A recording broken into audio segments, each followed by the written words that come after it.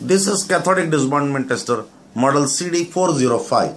It has got a keypad for selecting the voltage from 0 to 4 volts and 4 channels can be set independently from 1 to 4 channels at a time.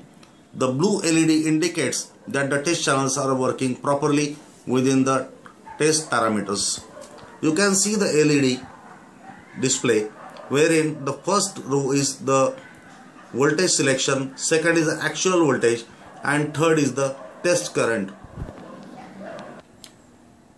These are the test cups or electrolytic cell where all the four test vessels are engaged for the testing.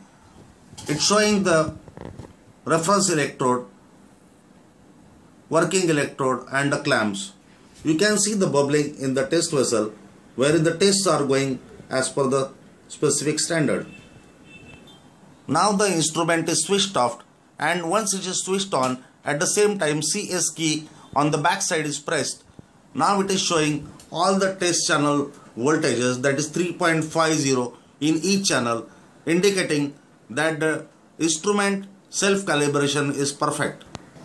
Now all the channels has been disconnected and cali external calibration device is plugged in into channel 1.